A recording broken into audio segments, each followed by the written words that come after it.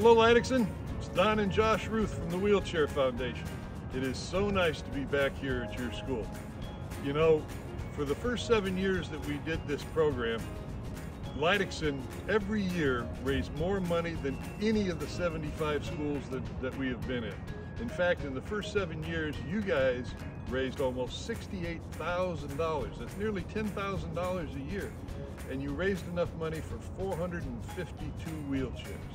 So you've changed the lives of not only the 452 recipients, but also the lives of their entire family. And we can't thank you enough. You guys are just fantastic. You've done a great job. We wish we could be back in school at an assembly uh, with you, but hopefully by time we get back from Peru uh, this summer, next year when we come back, we'll show you pictures of the people that received your wheelchair. So thank you so much for everything that you guys do. You're great school, our number one school. Joshua? Good morning, Lydiksen.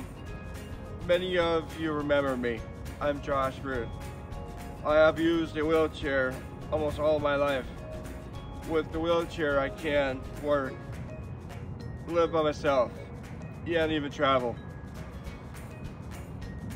My life would be much different without this wheelchair. This year, your donations will help people like me in Peru have mobility.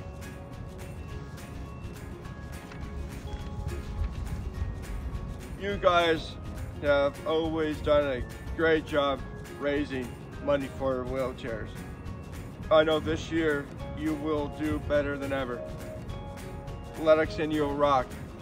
Thank you, Lydiksen. Thank you, Lydiksen. We'll see you next year.